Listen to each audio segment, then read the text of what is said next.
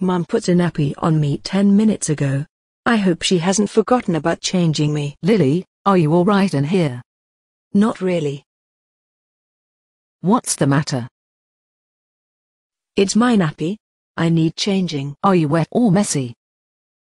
Both. In that case, it's time to change your nappy. Come on, let's go and get you changed. Aunt Millie, are you in? Yes, Lizzie. I was changing Lily's nappy. Changing Millie's nappy? Bring me up to speed here. Why are you changing Millie's nappies? Isn't she four years old? She was naughty enough last night to take her nappy off, and ended up messing all over her bedsheet. So, she is in nappies today as a punishment. I see. That was very naughty of her.